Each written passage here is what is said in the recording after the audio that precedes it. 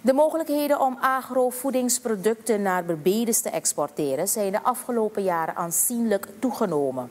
De inspanningen van de Surinaamse regering onder leiding van het ministerie van Landbouw, Veeteelt en Visserij LVV en de particuliere sector hebben bijgedragen aan het creëren van afzetmarkten voor minstens 12 Surinaamse producten.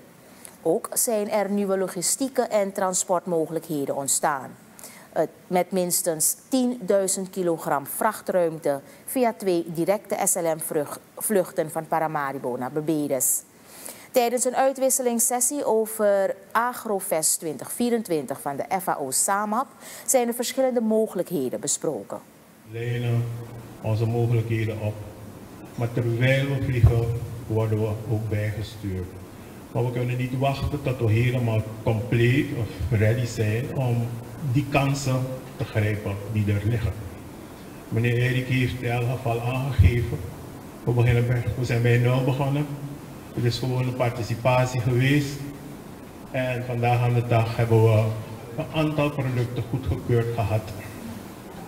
En we, we doen ons uiterste best om vooral vanuit onze, uh, ons lidmaatschap in het platform die bemoediging te geven.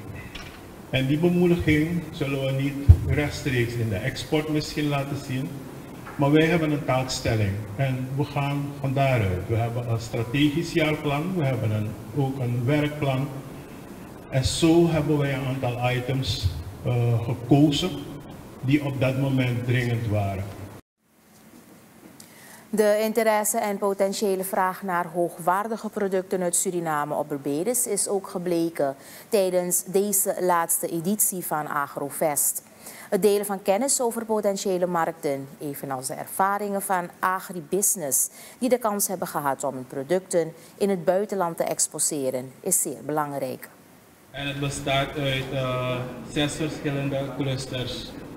Uh, de cluster uh, Podosiri, de cluster cacao, uh, de cluster medicinale planten en oliën, de cluster kokos, de cluster honing en de cluster cosmetic.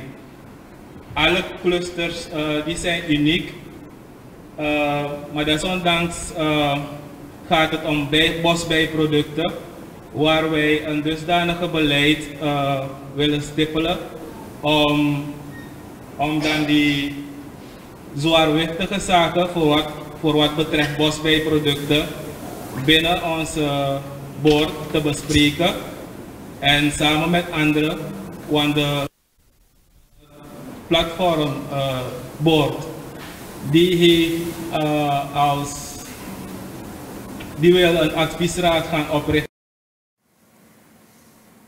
Na de kennisuitwisselingssessie is er een panel- en interactieve discussie gehouden met de deelnemers van Agrofest 2024.